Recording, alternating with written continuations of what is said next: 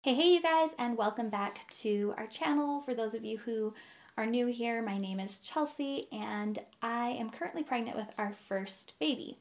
Um, it is a girl, and we are very excited to be 28 weeks along. Um, we did conceive this baby through IVF, and I do make a lot of videos on what that process was like. We vlogged that whole um, process, and we also continue to share as much information as we can about infertility and IVF and fertility treatments and what um, that's like, just to help any of you out there who might be going through fertility treatments, who are still trying to conceive. Um, and hopefully, this video will help as well. So, in this video, I want to share with you what happens after you find out you're pregnant through IVF um, this will all be based off of my experience um, and through my clinic. So your experience might be a little bit different, but um, this could give you some insight as to what to expect once you do get that positive pregnancy test finally um, and kind of what the steps are after that. So if you are interested in seeing what my experience was like, go ahead and keep watching.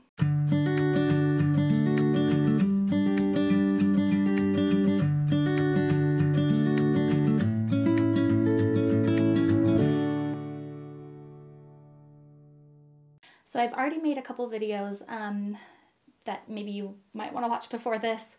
One is my whole IVF process from consultation to egg retrieval, and then we did a frozen embryo transfer, not a fresh embryo transfer. So then I have a video all about my FET, and then now I'm making the third installment to that series, I guess, if you want to call it a series um, of what happens after your frozen embryo transfer. Um, and after you find out it's successful, because for us, we were super lucky that we were successful on our first transfer. Okay, so because you're generally transferring an embryo that's five days old, um, you get to do your pregnancy test a little bit sooner than you would if it was like through a natural conception. Usually, through natural conception, you can test about 14 days past ovulation and get a positive or, you know, like have a clear result. Um, but because our embryo was already five days old, we tested um, at nine days post five day embryo, old embryo transfer is kind of what they, how they term, term it.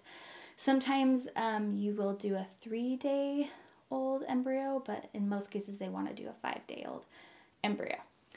So that's what ours was. So we, our pregnancy test, which in with IVF they do a beta blood test where they um, check the beta numbers of your HCG levels in your blood, um, and they do that nine days. For us, it was nine days past the transfer.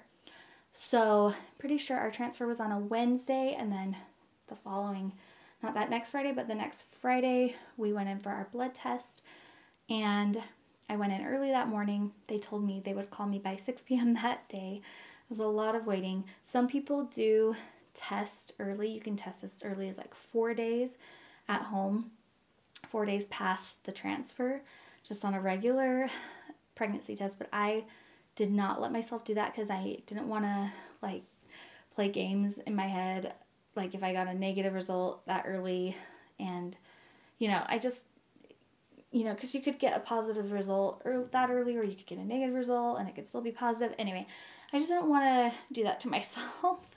So I just waited until I would we would know for sure whether or not the transfer was successful. So like I said, we did the uh, blood draw around 7 a.m. that morning, and I was told I would be called by 6 p.m. that night. It was a long time to wait, but they ended up calling us at noon that day and leaving a voice message just to call him back. So I was like, oh crap.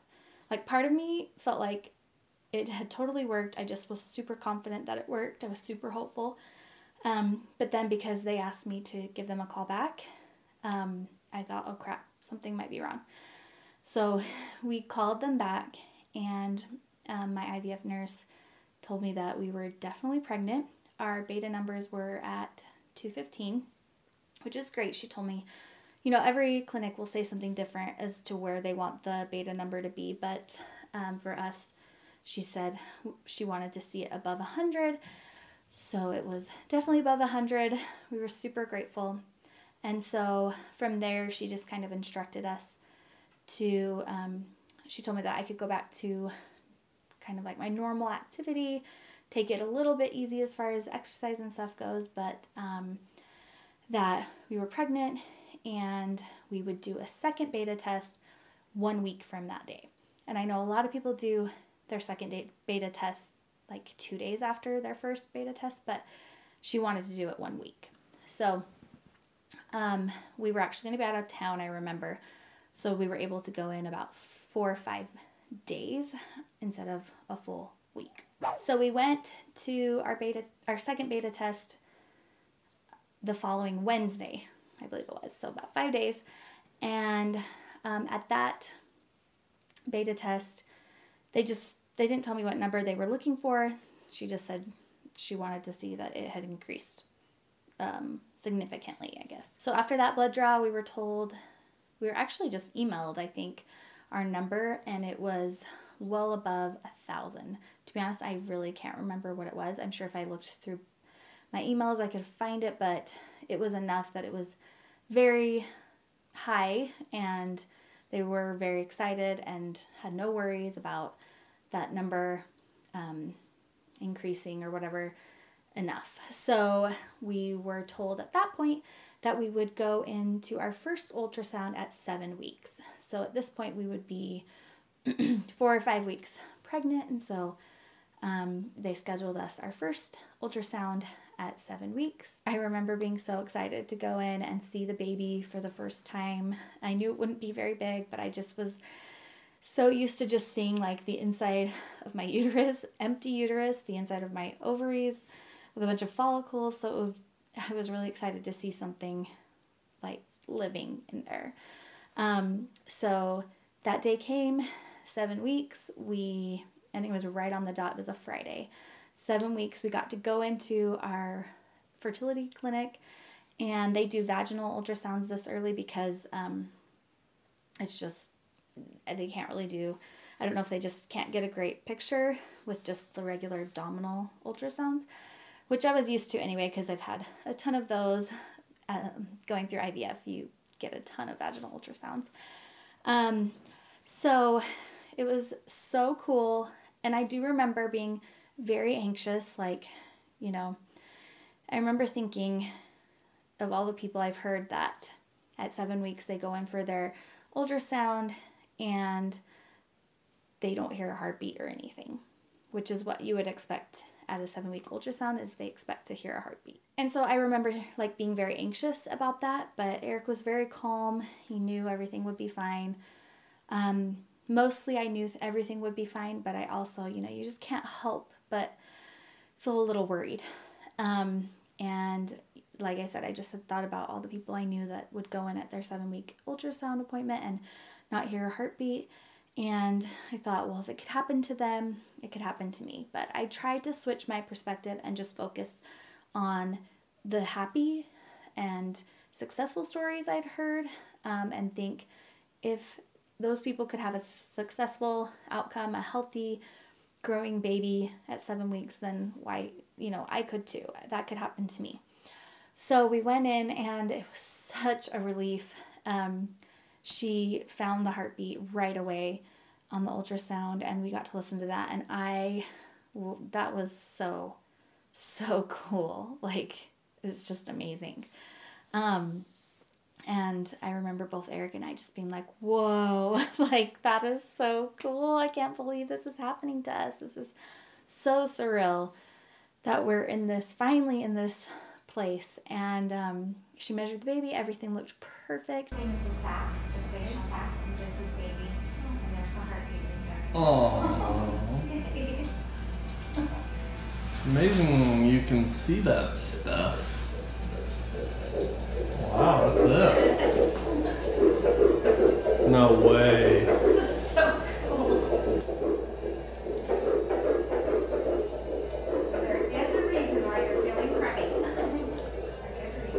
So then they scheduled us for another ultrasound two weeks um, from that day. I know some clinics maybe do an ultrasound every week or whatever, but for our clinic, we just did it at seven weeks and then we did it again at nine weeks. And um, so we waited two weeks. And um, at nine weeks, we went back in, got an ultrasound. Same thing. She, I was nervous, of course. She found the heartbeat. The ultras, ultrasound tech found the heartbeat fairly quickly, and I'm pretty sure at this ultrasound I also did a vaginal ultrasound. Um, and she said everything was looking great. I think at this um, appointment she also mentioned that our baby um, was looking pretty chubby, like measuring a little bit bigger than um, you know than just nine weeks. But I was totally fine with that. She said it was nine weeks in a few days, but I thought great, no problem. I'm, I'm good with a chunky baby. Keep growing, baby. Just keep growing. That little heartbeat in there. Little nugget. Here, and you see little arms. We call them um, gummy gummy bears because Yeah. they have like these little nubs. Oh my word. So fun. It's a lot more noticeable now. Then it looks like a baby, right? So fun. So you're nine weeks exactly. Baby's measuring nine and four. Got a nice chunky baby in there. Oh, sweet. It wouldn't change a thing now. Everything Yeah. is great. It was so wonderful. Again, we were just thrilled to have a healthy growing baby with a strong heartbeat. So after this nine week ultrasound, um, they graduated us from the fertility clinic, which I was like surprised because I didn't know when that was happening. I kind of thought that that wouldn't happen until after 12 weeks, after we were out of the first trimester. But for our clinic, they, you know, as long as everything was looking good, they were confident to send me off to a regular OB. Um, and so it was fun. We got to like sign this little tree, um, our name and our due date. Um, they did give us our due date at the seven week appointment. Um, and so we had already known our due date. And then um, what they say is for our clinic, it's really cute. They say, come back when you have your baby. And um, actually, we don't sign the due date. We sign our write our name. So I wrote Eric and Chelsea Hansen, and then we put a little heart underneath us. And then we are supposed to come in with our babies, with our baby to visit the clinic, and write the name by the heart, and our like the day we had her. So anyway, so they graduated us, gave us a little certificate like we graduated from the fertility clinic. Dun, dun, dun, dun, Right? The best graduation you'll Yeah. ever have, right? Did it. and um, gave us a bunch of paperwork that we could take to our OB and just sent us on our way and said, Good luck, come visit us. We hope everything works out well. Hope to never see you ever again. Thanks though. Bye. Um, they told us to continue. So this whole time, um, from five days before our transfer, we started progesterone in oil injections, as well as um, we had been on for a couple weeks before that the estradiol injections. And I talk about this in my FET um, story video that I've done. Um, and so we continued on with all of those medications as well as um, a prenatal vitamin and a baby aspirin. So we continued on with those. And my doctor told me that we could stop all of those at 10 weeks of pregnancy. So the day I turned 10, 10 weeks pregnant was my last day. I was done. Now I know that's not the case for everyone. Some doctors have you go to nine weeks, I think. Some have you go till 12 weeks on all those medications. Um, but for my doctor, he just said, stop at 10 weeks and you'll be good. And I wasn't too worried about that. It was, it was a little bit like, uh, nerve wracking to go off of all these medications that I just felt like were sustaining life, I guess, for me, um, for this baby. But I just trusted in my doctor and I trusted in the process, and everything um, obviously worked out well. They did tell me to stay on the baby aspirin um, till 12 weeks of pregnancy and um, the prenatal vitamin, of course, through the whole pregnancy. And sorry for all of the lighting changes in here. There's a bunch of clouds and the sun is going in and out. So just enjoy the wonderful change of light throughout this video. Okay, so by the time I had left our fertility clinic, I did have um, a doctor in mind. I wanted to go to an, an OB. My friend had suggested him to me, and I felt pretty good about it. And so, um, because we graduated a little sooner than I expected at nine weeks, I um, went home basically that day and scheduled an appointment with our OB, and we were able to meet with him at I think 11 weeks. And that was great. At our first appointment, we just basically did a quick overview, um, explained to him that I did IVF. I brought up all the paperwork that our IVF clinic gave, um, and he was able to look at all of our blood work and make sure we'd had done, you know, certain blood tests that they usually want to see at the beginning of a pregnancy. Sorry, finally just had to get up and change like the blinds, move them around a little bit because the sun was blinding me. Um, anyway, so as I was saying, um, it was very smooth transition to our OB's um, care and office, and I'm not sure if it's like that for everyone, but for us it was, and we are really happy with um, that situation we have with that new doctor. But it is weird when you're at um, like an OB's office, just like a once you're kind of like a regular patient as far as like pregnancy goes. Um, your appointments, they don't do ultrasounds at every appointment. You get it done at your 20 week anatomy scan. Um, and you maybe get another one done, I think maybe around 37 weeks. Some people do. I don't know yet. Haven't gone that far yet, but it's just interesting to have very quick appointments and just be sort of a normal patient again, which I like because that means everything is going great with the baby, everything's you know looking good. So, um, so yeah, that was just an adjustment um, of going from a fertility doctor to just a regular OB. Um, but it's all good. I will say that you will be anxious. I know you like at least I know I was anxious. You will most likely feel a lot of anxiety once you find out you're pregnant, um, especially through IVF.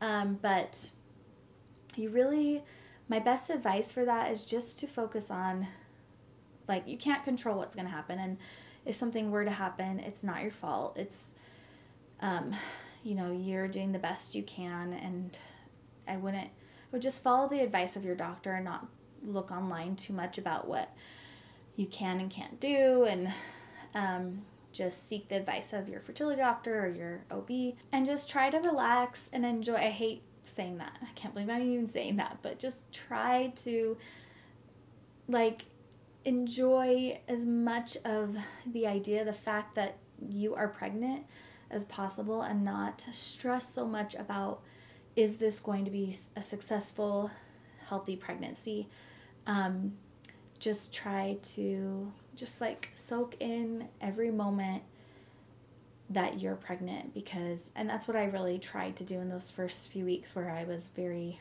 worried. Um, and luckily for me, luckily and unluckily, I got hit pretty hard with morning sickness around seven weeks, and so I was pretty sure that everything was okay because I was I was reminded that I was pregnant a lot, just being very sick and nauseous. Um, but yeah, like I said, just you are going to be anxious, you are going to be stressed. That's just welcome to motherhood, I think. but um, just try to enjoy enjoy pregnancy, enjoy um, the fact that your transfer, whether whether it was fresh or frozen, was successful, and that your body is now doing some incredible, amazing things um, to grow this tiny little, teensy tiny little embryo into a full grown, healthy baby. So just take it a day at a time and just enjoy that. Um, that fact that you are pregnant now. So, anyway, that's pretty much it. Um, that was my experience as far as once we finally found out um, we were pregnant and how things kind of played out after that. If you have any questions, please feel free to leave them in the comments below. And please, if you've been through this and your experience was different from mine, I would love to hear a little bit about what your transitional um, experience was from finding out you're pregnant to kind of graduating from your fertility clinic and moving on to an OB um, so that people can know what to expect um, if they are in this same situation or they will be hopefully in this same situation soon. So, anyway, that is it. Thank you guys so much for watching. I hope you have a fabulous day, and I'll catch you in my next video. Bye.